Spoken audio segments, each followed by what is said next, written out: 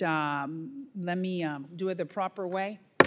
The subcommittee on the Western Hemisphere will come to order, and the purpose of this hearing is to discuss the rise of anti Semitism in Latin America and the responses of the governments in the region to the ongoing war in Israel and the impact of these responses on our U.S. foreign policy objectives in the region.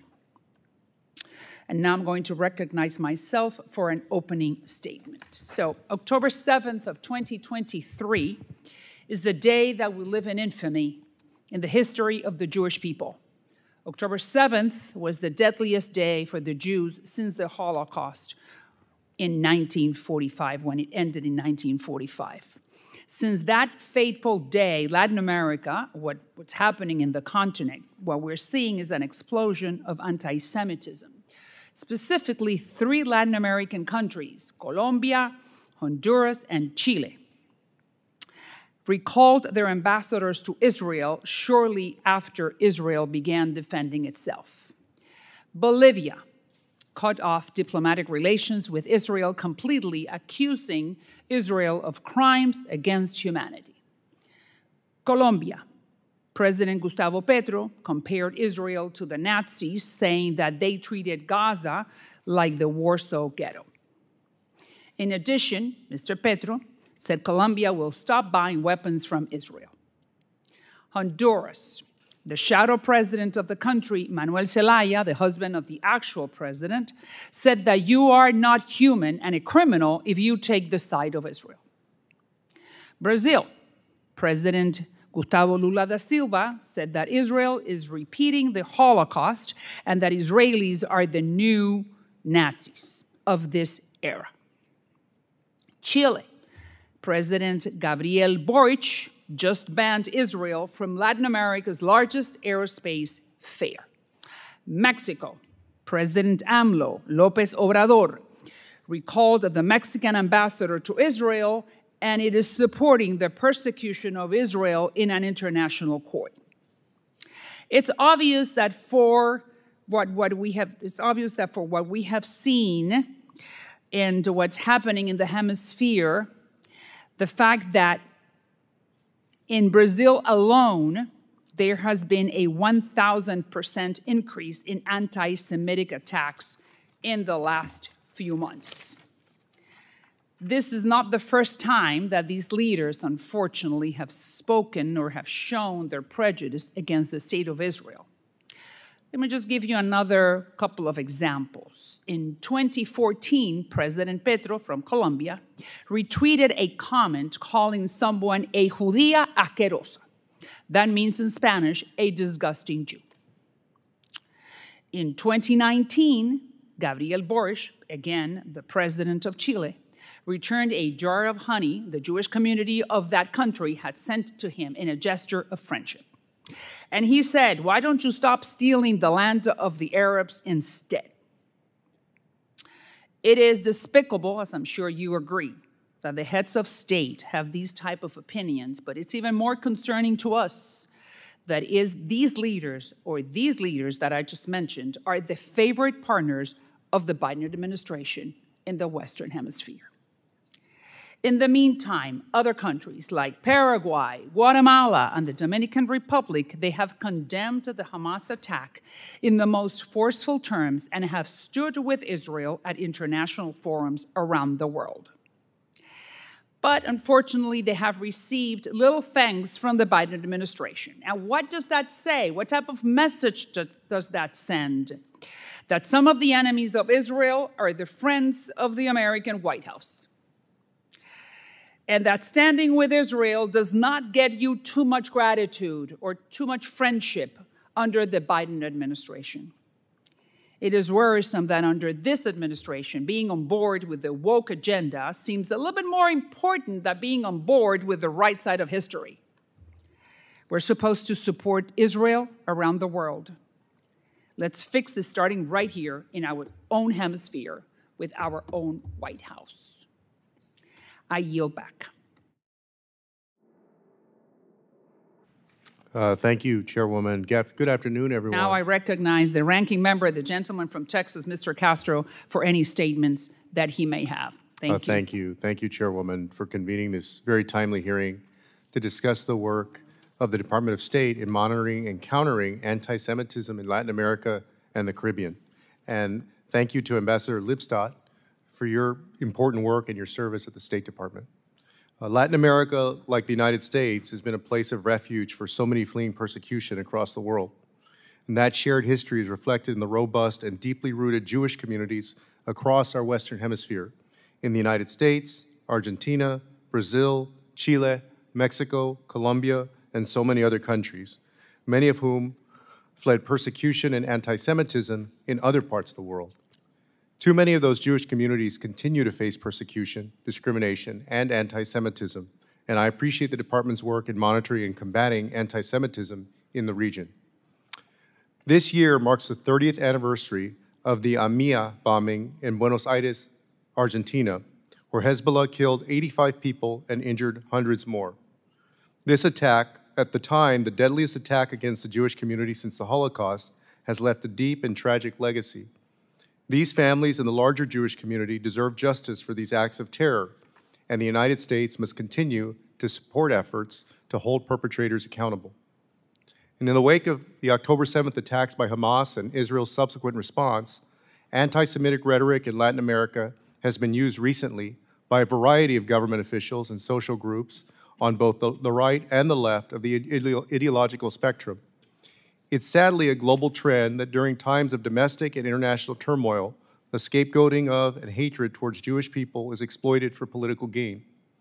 Officials from both the United States and the Organization of American States have publicly raised the alarm on ri- rising anti Semitism in the region, calling it, quote, a tsunami. In Peru, right wing extremists have targeted a prominent Peruvian Jewish journalist by screaming anti Semitic chants outside his home, including showing posters of rats holding bags of money. Just a few years ago, a right wing movement almost catapulted a far right candidate, the son of a German Nazi party member who fought in World War II and then fled to South America to the presidency, almost to the presidency of Chile.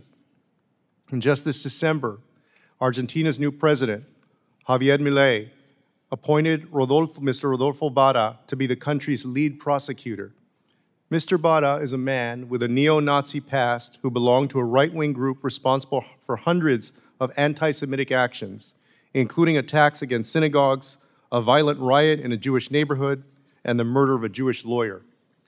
He will now be responsible for prosecuting any individuals involved in anti Semitism or violence against Argentina's significant Jewish community. We've also seen left leaning leaders in the region make inflammatory statements as well. Last May, the Biden administration also announced the first ever national strategy to counter anti-Semitism, anti-Semitism, which includes collaboration with the Office of the Special Envoy to monitor and combat anti-Semitism, which our witness now leads. The strategy laid out two issues for the State Department: a report documenting promising overseas programs, policies, and actions that counter anti-Semitism, and working with the Treasury Department to financial institutions to prevent hate groups from raising money through crowdfunding websites. During this hearing, I look forward to hearing how the State Department is working to implement the President's interagency strategy. In drafting the interagency strategy, the President also made an important decision to acknowledge that, quote, there are several definitions of anti Semitism which serve as valuable tools to raise awareness and increase understanding of anti Semitism. The national strategy to counter anti Semitism recognized that, quote, in order to confront and counter anti Semitism, Americans must recognize and understand it. It noted that, quote, there are several definitions which serve as valuable tools to raise awareness and increase understanding of it. But critically, the strategy focused on action to counter anti Semitism rather than debate over definitions that sap energy from urgent action. I understand that your office, which was established before President Biden's interagency strategy was released, solely uses the International Holocaust Remembrance Alliance's uh, working definition of anti Semitism and does not use other definitions, such as the Nexus document that may be appropriate to the context of the countries that you're working in. A core function of your office is helping other countries, including in Latin America, establish mechanisms and law to counter, effectively counter anti Semitism. I ask that in your and your office's work to follow the President's lead and focus on holding other governments accountable for concrete action to combat anti Semitism instead of codifying definitions. Myself and several of my colleagues worry that countries can take advantage of the outside, outsized focus on definitions to avoid taking concrete and practical action to protect Jewish people in Latin America. In preparing for today's hearing, I was reflecting on the diversity of cultures, races, religions, ethnicities, and ethnicities that exist in our hemisphere, and how Jewish communities are an important pillar of our society that deserve to live in peace and security. And I look forward to working with you on that effort. I yield back, Chairwoman. Thank you, Mr. Castro. Now, other members of the committee are reminded that opening statements may be submitted for the record. Today, we have a witness from State Department who works on the issues of combating anti-Semitism globally, including Latin America. The Honorable Deborah Lipstadt is the Special Envoy to monitor and combat anti-Semitism for the Office of the Special Envoy to monitor and combat anti-Semitism at the State Department or at the Department of State. Thank you very much for being here with us. Your full statements will be made part of the record, and I'll ask each of you to keep your spoken remarks to five minutes, you and to the rest of my colleagues, in order to allow time for member questions. I now recognize you, Madam Ambassador Lipstadt, for your opening statements. Thank you very much, Chairwoman Salazar, Ranking Member Castro, and members of the subcommittee. I really welcome this opportunity to discuss the increase of anti Semitism in the Western Hemisphere and the State Department's active engagement in the, reason, in the region. Anti Semitism is more than solely a threat to Jews and Jewish communities. But if it were just that, that would be enough. Governments have the responsibility to protect their citizens and protect particularly members of minority and vulnerable groups from discrimination and violence. But anti Semitism is more than just a threat to Jews, it is a multi leveled threat to well being, to national well being, to democracy, national security, and stability. Today, I want to talk specifically about our many efforts in the Western Hemisphere to monitor and combat anti Semitism which has become even more urgent, as you mentioned in, in your opening statements, since October 7th. The Jewish community organizations in Brazil recorded, again, as you mentioned, a 961% increase in anti Semitic incidents during October 23 compared to the same period in 2022. In Argentina, there were more than 100 reported anti Semitic incidents in January 2024 alone, representing a 600% increase compared to the same period in 2023.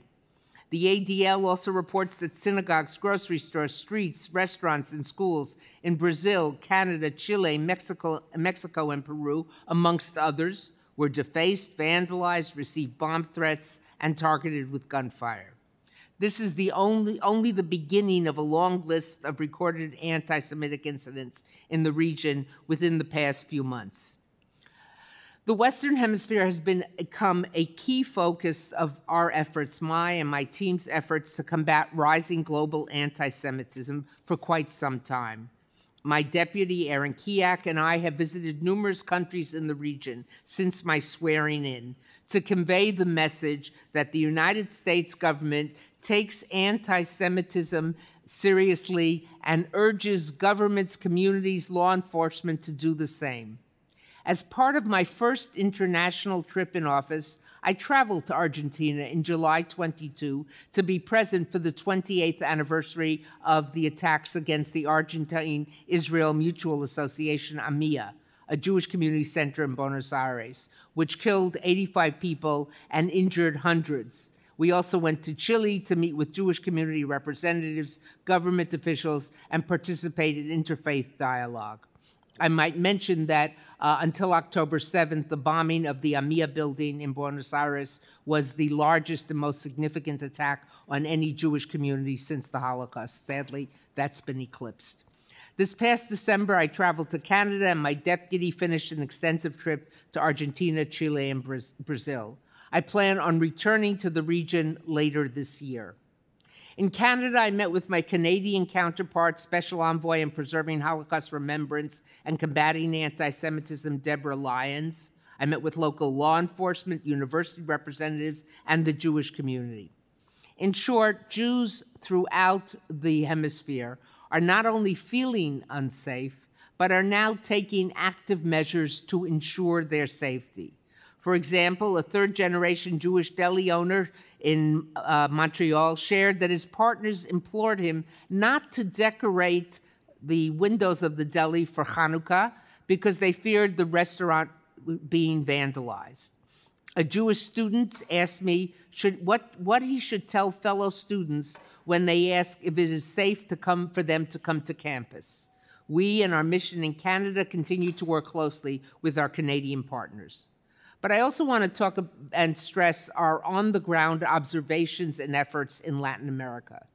Although overall levels of violent incidents reported in Latin America are far, far lower than in Europe and the United States, the Jewish community in Latin America has faced a rise in anti Semitism since the October 7th Hamas terrorist attacks.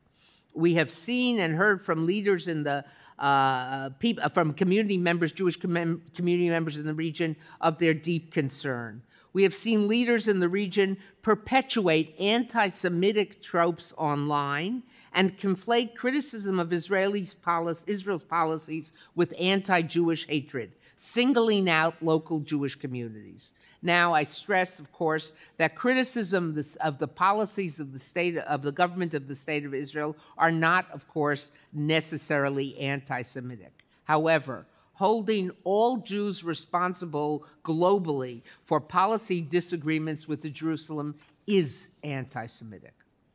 In October 2023, we publicly called out Colombian President Petro's offensive and inflammatory remarks comparing the Israeli government's actions to the Hitler regime. Recently, my deputy met with a top Venezuelan opposition leader who has faced decades of anti Semitism by Maduro supporters because of his Jewish roots. We publicly called this out and declared support for him and others who face hatred because of their religious or ethnic background. We are deeply disappointed that some Latin American countries, including, as you mentioned, Bolivia, have chosen to suspend or cut diplomatic relations with Israel since the Israel Hamas conflict, and that some others, including Honduras, Chile, and Colombia, recalled their respective ambassadors to Israel for consultations. We do not believe that reducing diplomatic channels works towards our shared goal of promoting a long term solution to the crisis.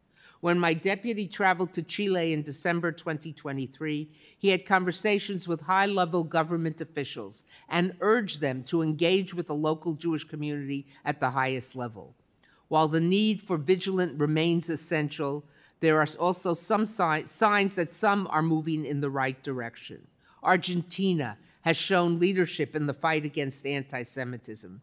In addition to being the only Latin America, American country that is a full member of the International Holocaust Remembrance Alliance, IHRA, Argentina is also the first country in the region to appoint a special representative for the fight against anti Semitism, Ambassador Fabiana Loguzzo.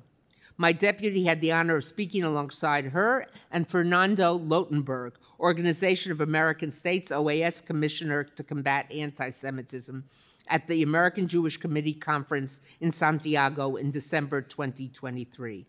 Their voices to educate the public and combat, combat anti Semitism in the region are vital, especially now. We meet frequently with, with Commissioner Lottenberg, the OAS, and our U.S. ambassadors to see how we can work together. Unfortunately, Commissioner Lottenberg does not have the designated funding, which limits the reach of his office.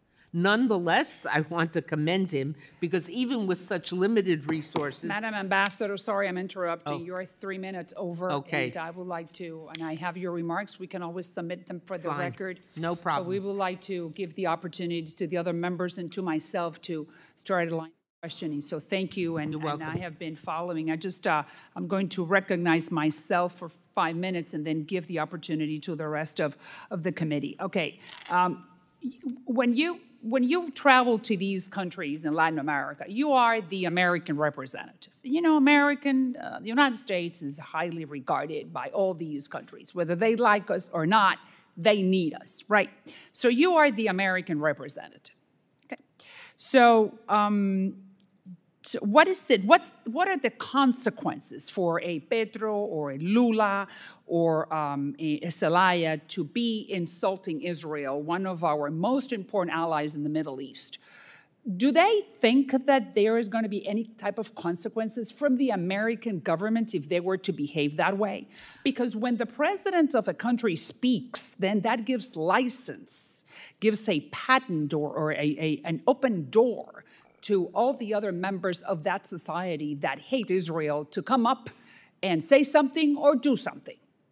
So, what are the consequences? Uh, uh, it's an excellent question.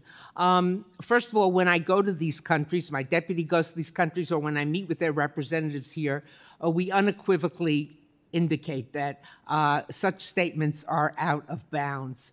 Uh, when um, And President, what do they respond?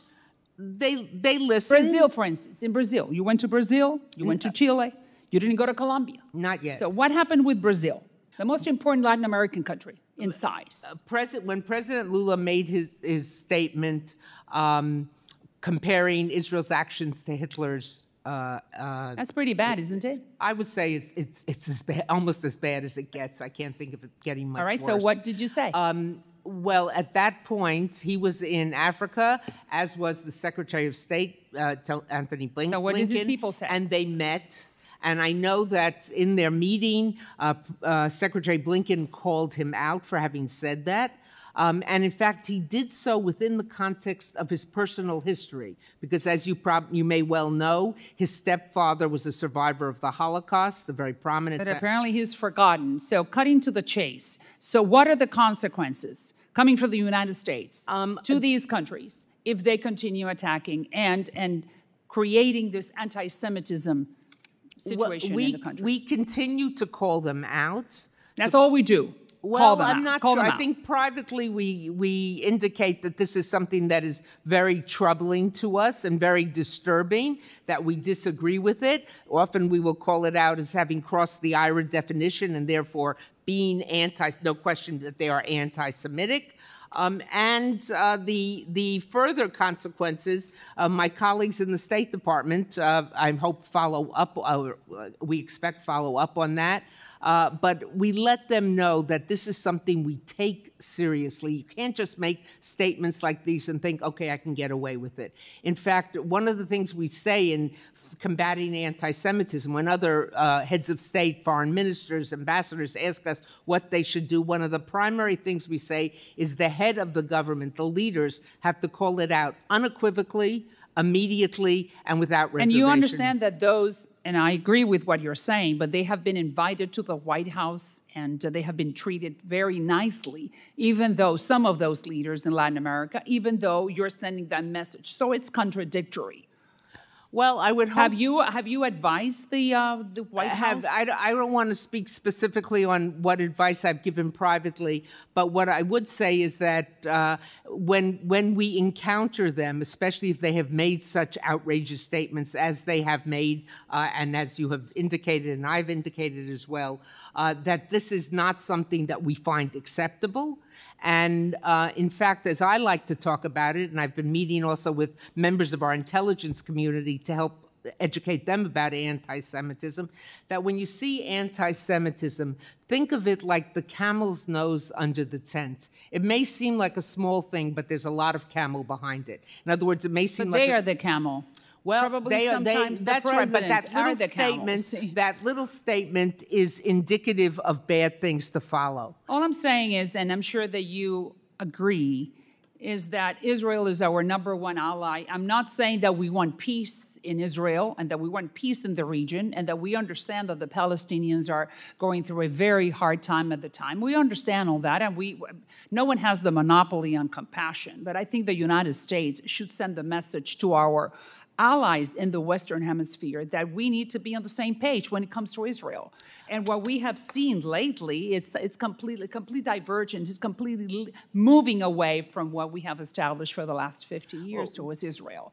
So is aren't you aren't you concerned? I am I'm deeply concerned. I'll tell you, I'm deeply concerned not just about the region, but we've seen it in Europe, we've seen it in other places. Well, but let's stay in Latin America. Okay, staying with Latin America. So, uh, many of the the statements which you have referred to, which I have referred to, uh, cross the line. Thank you. Cross the line. So then, the what are the consequences when you cross the line? That's what I'm saying. Not just scolding. You. Well, uh, we. I would hope that there will be uh, uh, that the that they will get the message that this is something if they want to work with the United States closely, this is not something that redounds to their benefit. But it's important to recognize that criticism of Israel, even severe criticism of Israel, is like severe criticism of any other country. But too often in the in the in the recent past, we've seen that criticism morph into pure and unadulterated anti-Semitism, as in the examples you cited. Thank you very much. I'm so happy that someone recognizes this,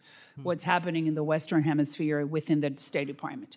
Now I recognize uh, my friend, the ranking member, Mr. Castro, for five minutes. Uh, thank you. Ambassador, once again, thank you for your testimony today and thank you for your work. Uh, as I mentioned in my opening remarks, the Biden administration released the U.S. National Strategy to Counter Anti Semitism last May. And can you give us a status update on where we are in implementing the parts of the strategy that refer to the State Department and to your office? Uh, yes, uh, we are. The uh, strategy, if, as you probably well know, not only was an extensive strategy, but came with calendar benchmarks of when certain things should be done. Uh, my uh, office submitted our report to the uh, to the White House, indicating where we are. And what we have done is we've we've uh, conducted very extensive travel to these various countries. And when I go, I was just recently, I returned from um, Germany and from London.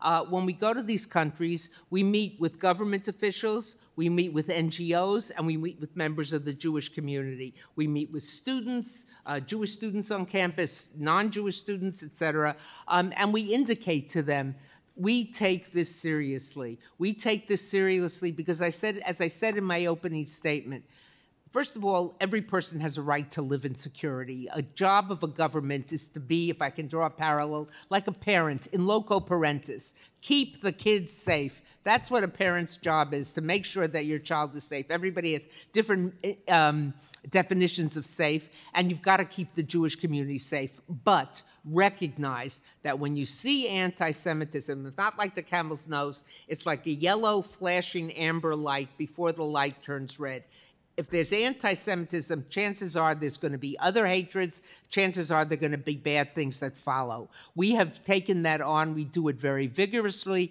and we do it unapologetically. Hmm, thank you. And Ambassador, the President's national strategy to counter anti Semitism states that, quote, there are several definitions of anti Semitism which serve as valuable tools to raise awareness and increase understanding of anti Semitism, unquote. Uh, your work is international and there may be expressions of anti Semitism in other countries that are rarely seen in the United States. And it's important that we recognize that. Is your engagement with countries in Latin America, in your engagement with countries in Latin America, how are you working with partners to identify how anti Semitism manifests itself in the local context of those nations? Whenever we travel to any country, including to Latin America, uh, as I mentioned, I'll be returning to Argentina specifically to be present on the 30th anniversary of the AMIA bombing. I was there on the 28th anniversary. I saw what an impact my presence had uh, on the community. I've been going, I've been urging others to go. I said, this is a forgotten tragedy. This is something that we recognize. And two years earlier, there was the bombing of the Israeli embassy in Buenos Aires. It's been, it's been too easily forgotten, and it's got to be acknowledged, especially since we we know we know pretty for for in, in uh, various certitude uh, who, who, who brought it about, and the persons who have have never been brought to justice, and that's something that disturbs America greatly. Uh, we go to these countries, but before we go, we talk extensively to uh, embassies and to consulates, to our embassies, our consulates, our locally employed staff. We very often reach out to the Jewish community. We want to hear before we go. Before I went to Chile, I met with members of the Chilean Jewish community who are here in Washington. I met, one of the first meetings I had was with them when I arrived there. What are their concerns? What are they seeing on the ground. Uh, we don't want to just meet in, you know, the rarefied atmosphere of government offices, but we want to meet with people on the ground and hear their experiences. Uh, Ambassador, you made uh, two very important and related points. Uh, first, that there can be legitimate criticism of the nation of Israel, just as there is criticism of nations around the world for different policy reasons and other reasons. Uh, but secondly, that disagreement or discontent, even strong disagreement with Israel, should not translate into anti Semitism or hatred or violent actions against Jewish people, uh, whether it's in New York City, in Paris, in Buenos Aires, Mexico City, or anywhere around the world. Uh, so, can you speak to how your office addresses distinguishing between anti Semitism and legitimate criticism of the actions of the government of Israel? Uh, again, I, to buttress your point and the chairwoman's point, uh, legitimate criticism, if legitimate criticism of the state of Israel was anti Semitism, those hundreds of thousands of Israelis who spent every Saturday night on the street protesting the proposed judicial reforms would be anti Semites, which of course is ludicrous. It's when people march on the street, whether it's in London or New York or any other major city, I just came back from London, so that's why, and chant globalize the Intifada. Globalize, you know, global, that means go after Jews. Uh, when they say things uh, like uh, happened in Hunter College in New York City on the Upper East Side, a city university uh, college, uh, just a few days ago, students stood in front of the entrance to the campus and chanting, Jews, Jews, you must decide, do you support genocide? They didn't even make a pretext, you know, Israel, Zion, they called them Jews. You know, they were quite obvious. When synagogues are trashed, when girls' basketball teams from a Jewish school, when the game has to be called because the other team is, is shouting and pushing and free Palestine, that's not being pro Palestinian. That's not even being pro Hamas, though I don't have a hard time how someone could be pro Hamas. That's being anti Semitic.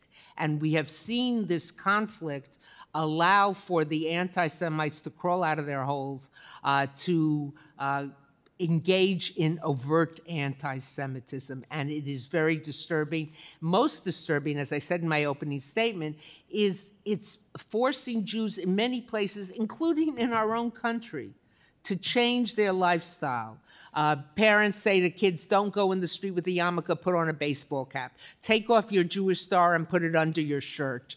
Uh, in October, uh, uh, supporters of Hamas and groups affiliated with Hamas and uh, called for a day of rage on a Friday. It was about two weeks after the uh, beginning of the war, and parents were and sent their kids to Jewish schools, kept their kids home.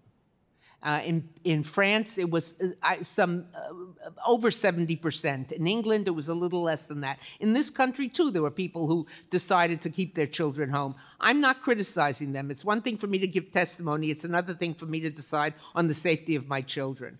But and nothing happened on the day. But from the perspective of the people who called for a day of rage, it was a roaring success because people felt, can I depend on my government to, to support me? Uh, are we a failed state? It created doubts about democracy. It created doubts about stability. Uh, it's a very disturbing development. Uh, we see it in this country, we see it in other countries. I'll give you an example from this country and from this hemisphere um, in the beginning, end of December, beginning of January, approximately 200 American citizen, uh, synagogues uh, received phone calls that there were bombs and threats. Many sent the, especially if they had a preschool, they sent the kids home. Uh, the FBI determined that those phone calls came from outside the United States. In Paris, there were paintings of swastika, Jewish stars on apartment buildings where Jews lived, or just random we now know that those uh, instructions came from people from Moldova who then left Paris and, and went back, we assume, to Moldova. In other words, anti Semitism has become um, a tool in the hands of countries that hate democracies, in the hands of authoritarian countries, to stir up doubts. In Yiddish, they call it a kochlöffel, a cooking spoon, to stir up the pots. And if I can destabilize your country, if I can make not just Jews, but others feel there's something wrong here, I've accomplished what I want to do. And that's one of the objectives my, in my office, because of course we are at the State Department and our remit is overseas. We, we focus overseas. But the other things we've learned uh, from many of the organizations that track this online and in other ways, uh, that there's a very quick highway between overseas and our country. Thank you for answering that question. I, I would like every single witness to be this willing to speak. I mean, it's, it's a rare occasion. So thank you for sharing with us your thoughts and your opinions and your experiences. I now recognize Representative Huizenga for five minutes. Thank you, Madam Chair and Ambassador. I'm, um, I'm sorry you're employed, quite honestly. Uh, I wish it wasn't the case. Um, my, uh, my, my colleague from Texas, uh, I, I, wrote this down, and I know you don't view this uh, exclusively, but he said, you know, sometimes we're seeing things overseas that are rarely seen here in the United States. Interestingly enough, on my way over to this hearing, uh, I walked outside and, uh, and had to go through the barricades that are, have gone up, um, where I witnessed uh, some pro-Palestinian protesters on the corner screaming "F you." To some uh, Jewish protesters across the street. That was half an hour ago.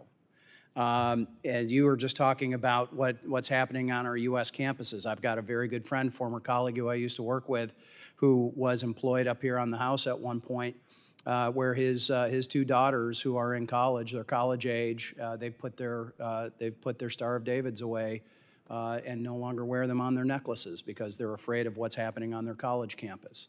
Uh, we are seeing a woeful lack of education uh, that's both here and in the United States, and pulled some numbers. It's um, 31%. Uh, this is this is according to Conference on Jewish Material Claims Against Germany survey on awareness of Holocaust of the Holocaust. Uh, 31% of respondents here in the United States did not know that 6 million Jews were murdered in the Holocaust. 22% of millennials had never even heard of the uh, Holocaust. And in Canada, you had, you had mentioned Canada, uh, it's even worse. 54% of all respondents did not know that 6 million Jews had been, had been slaughtered. And the same 22% of millennials had, had never heard of the Holocaust. I mean, clearly there's a, there's a lack of education uh, happening, whether it's here in the United States, in Canada, and other places. Now, and Canada kind of cuts home close to home for me, and here's why. Uh, my wife uh, was born in Canada. Her parents fled the Netherlands after World War II, after German occupation.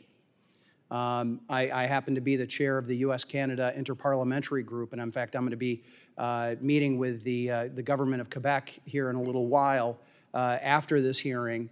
Uh, and when you, you brought up the, uh, the, the, the, the, Jewish deli owner in, in Montreal, it, it brought me back to college. Uh, early in my college career, I'd made friends with a, uh, with, a, with a couple of folks on a trip. They invited me to come up to Montreal. Uh, they're, they were Jewish. I'm forever, they were in the textile business. I'm forever thankful to them because they taught me what a really, truly good bagel was for the first time. Uh, and, and, and uh, Montreal is sort of the center of that, right? I mean, they, they claim they, they don't tell that to a New Yorker. I know, I know. It's uh, they, but they, uh, they, they claim they invented them, but uh, uh, really perfected them. But in all seriousness, you know, how how can we counter these apparent surges in Holocaust denial and distortion here in the Western Hemisphere? And clearly, clearly, uh, we've got young people that are that are that are susceptible to this. And i'm curious what your assessment is on actors like hamas and hezbollah and iran and, and others that for this using this spike in anti-semitism as an opportunity to engage in the western hemisphere here especially with uh, with uh, with young people. Uh, first of all uh, I'm, I'm glad you started by saying i'm sorry you have a job or i'm sorry you engaged I sometimes say that I work in a, a growth industry business is booming, and I'm the only one in the United States government hoping for a recession. You know, and I say it only minimally jocularly because it's it's a very bad time. Um, what we are seeing um, most disturbing, you know, in many places it's violence attacks, but when a people feels compelled to go underground, To to camouflage themselves if they can, um, then something is very very wrong. Uh, how do we how do we counter how- it? Can, can, can I ask, I'm going to ask this, I'm, I'm- I'm- so what, what are you seeing as you're, when you're traveling and your deputies are traveling with the media? Uh, You know, both local media there, I mean, a lot of us have opinions about our media here in the United States, eh, but are they really portraying these anti-Semitic uh, incidents uh, by both state and non-state actors? I mean, are they, uh, are, is it an active conversation in a number of these countries? Because I'm extremely disturbed, and, and the chair had brought up, you know, uh, Brazil and Honduras and other places throughout Latin America. I, you know, we just talked about Canada uh, as well, and I, I, I have family in Canada yet. My wife's family is still uh, there. Um, my answer would be it depends where you go. And to focus back on Latin America, we've seen, in fact, the State Department issued a report uh, in November, or a statement in November uh, uh, 2023 on the Kremlin's effort to covertly spread disinformation in Latin America. And in conversations, at the, I was just at the Munich Security Conference, and someone said, Well, why are you at the security conference? And I said, It's very simple. Anti Semitism is a threat to the security, particularly of democracies, but virtually to any country, but certainly of democracies.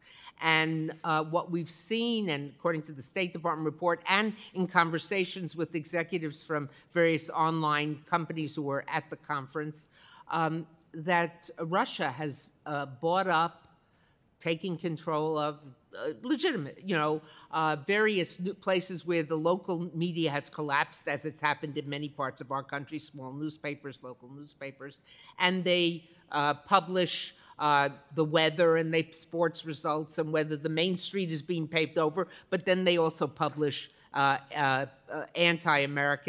anti-American, pro-Iranian, whatever it might be, uh, propaganda. I, I, and I know, I appreciate the light gavel from the uh, chair. I know uh, the, the ranking member went a little long too, but this is an important issue. Um, and I want to touch on one last thing. I think I, I wrote it down. I believe you said you, you meet with our U.S. ambassadors as you travel, correct? Mhm, I do. Yes, okay, great. I'm glad, glad to hear that. Um, I, I'm concerned about our own ambassador to Brazil, Elizabeth Bagley. Um, uh, she has had uh, uh, some documented, very hateful comments she's made about Jews, and my understanding from my Senate friends, it nearly derailed her, her Senate confirmation. Um, does her track record of those types of comments um, uh, has that somehow affected her ability or the U.S. ability to con- forcefully condemn uh, De Silva's comparison of, of Gaza to the Holocaust? Uh, what I've seen from uh, our post is that uh, Post Brazil, uh, Embassy Brazil, takes this issue very seriously. I know that uh, Ambassador Bagley addressed some of these issues in her confirmation hearings, and I don't to, you know, that's that's that's. Uh, I guess. I'm, I'm more concerned about we having a, a forceful voice when we see this, when trade partners and allies and and uh, and certainly we're the, the the economic activity that we have between these uh, our countries, we should have some influence over that. I want to make sure our ambassadors are not just speaking out. I want them to be forcefully screaming about this. I think I think they are. I think they also are meeting privately. I'll give you an example of a case I know better. Chile, our ambassador there, Ambassador Meehan, uh, arrived in Chile on just the day after, I believe it was, but very close proximity to when President Boric refused to, uh, when the Israeli new Israeli ambassador came to the palace to present his credentials, and Boric refused to see him. A, an action not just "don't come now, come later," but of, of major political significance. Uh, our then newly arrived ambassador, before she had even presented her papers, had a Friday night dinner with him and with our charge d'affaires. Thank you, Madam Ambassador. Sorry I'm interrupting, but I need to recognize Representative Manning for five minutes. Thank you. Thank you so much to my friends, Chairman Salazar and Ranking Member Castro, and to my dear friend, Ambassador Deborah Lipstadt, for your incredible service and for being here today. As co chair of the House Bipartisan Task Force to Combat Anti Semitism, I deeply appreciate the commitment of the members on this committee on both sides of the aisle to address the shocking rise of anti Semitism we're seeing not just in our own country, but around the world, including the Western Hemisphere. What we are seeing around the globe is shocking, it's pervasive, it is terrifying.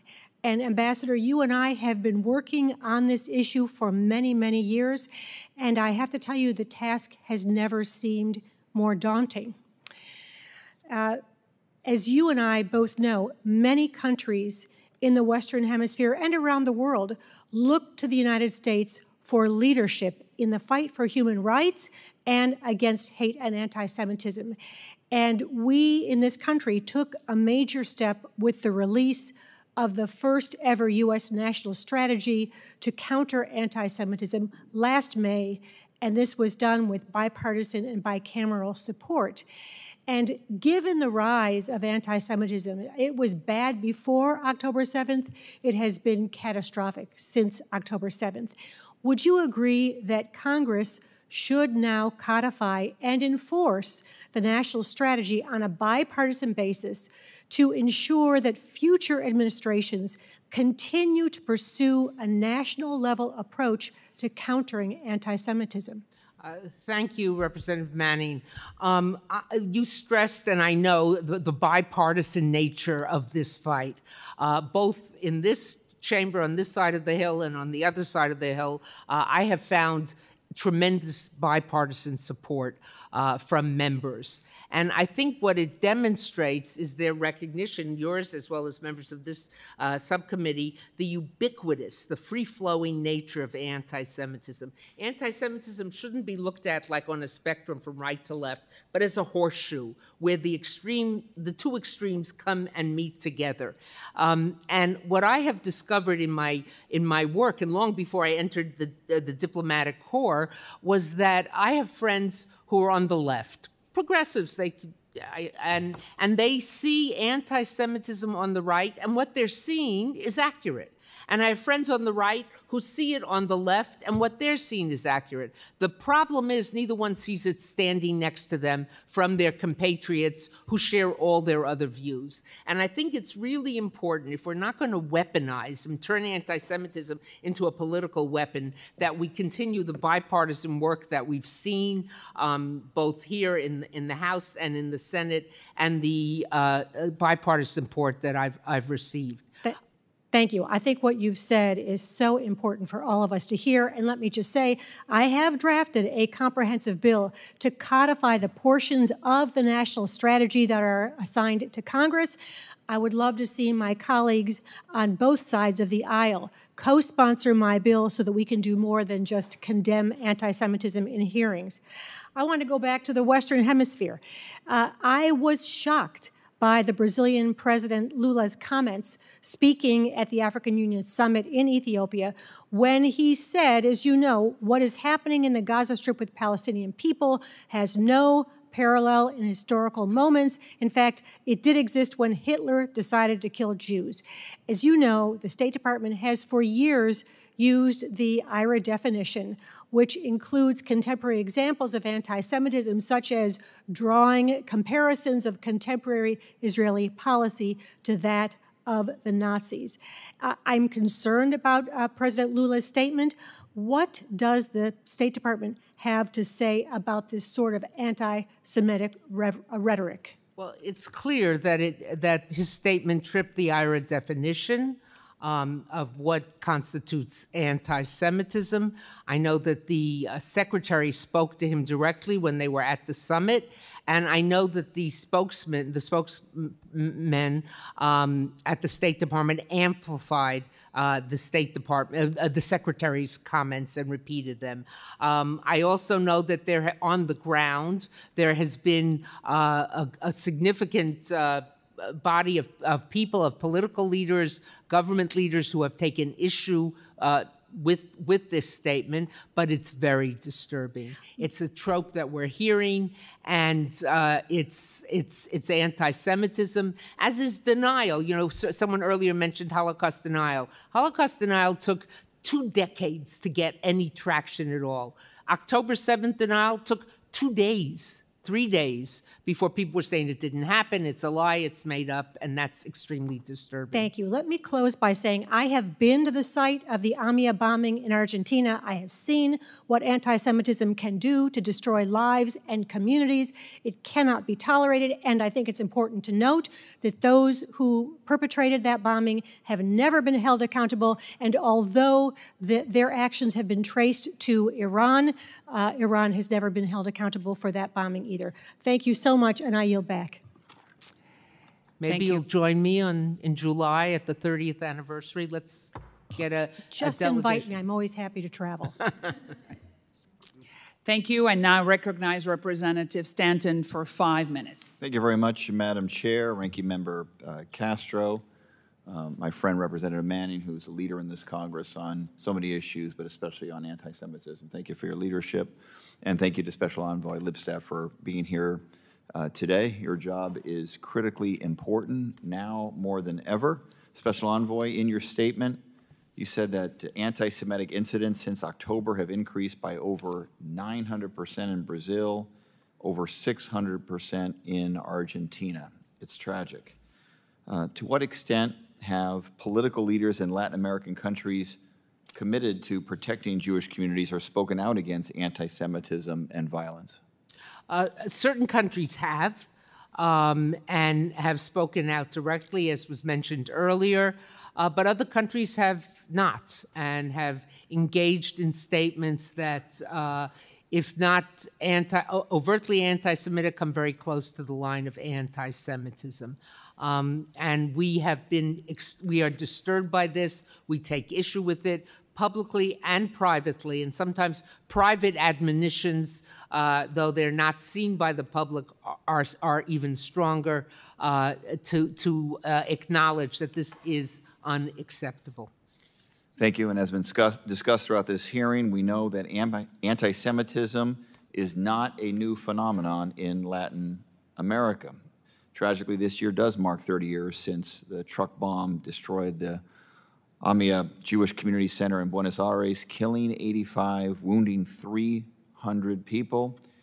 Iran has been accused of directing Hezbollah to carry out this attack, yet no one has been brought to justice. Since that time, Iranian influence in Latin America has only grown through its economic and political ties to with Bolivia, Cuba, Nicaragua, Venezuela. More recently, Iran has looked to bolster its outreach through media content geared for regional audiences.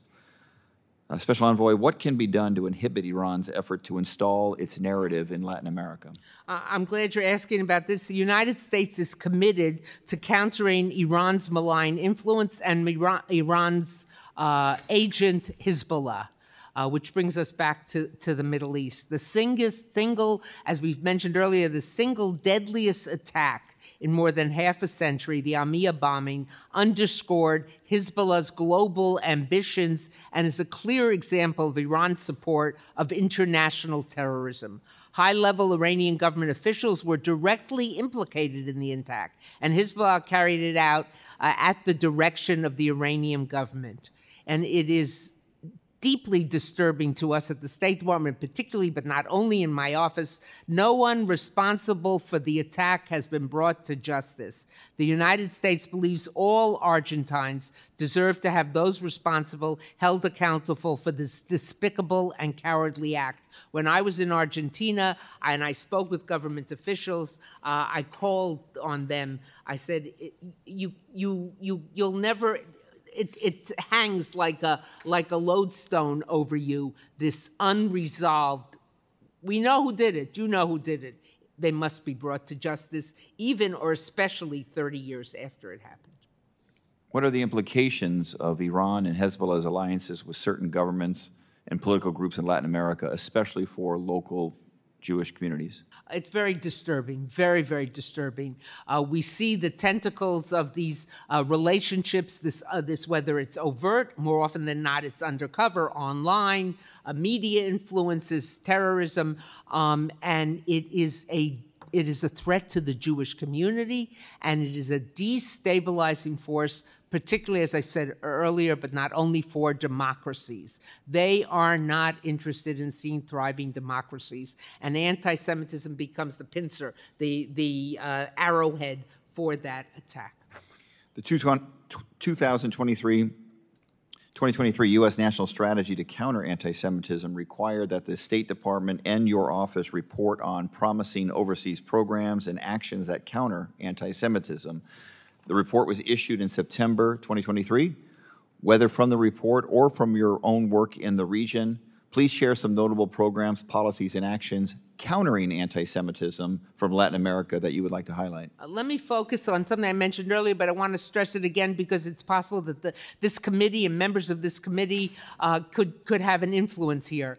Um, the OAS has appointed a commissioner, uh, Fernando Lottenberg, to handle this. He is very active. He is he is terrific. He's become a real partner to my office. We consult with him all the time to get a, a feel for what's going on on the ground. He suffers from virtually no budget and, and virtually no staff. He needs support. We've met with the Secretary General of the OAS. I just met with him about two weeks ago, who committed to uh, uh, furthering that support and enhancing his staff, enhancing his support.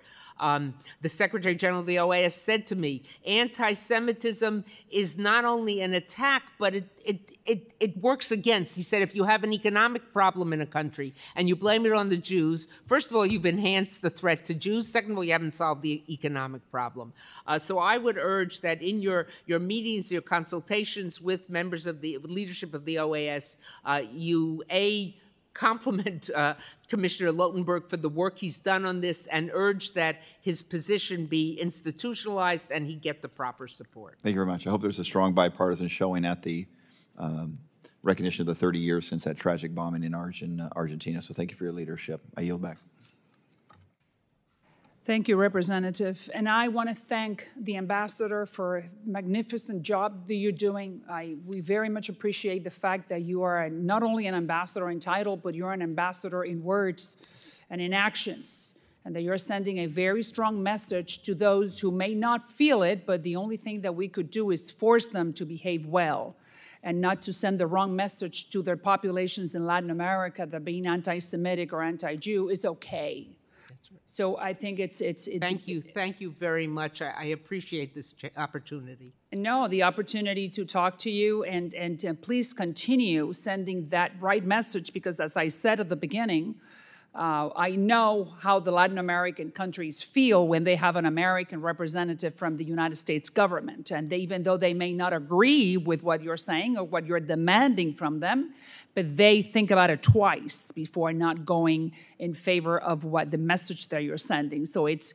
it's, um, it's, a, it's a duty from the Biden administration in, in, in you being the representative of the White House and sending that message to Latin America. It's despicable what's happening with Petro or with Lula or with Boric.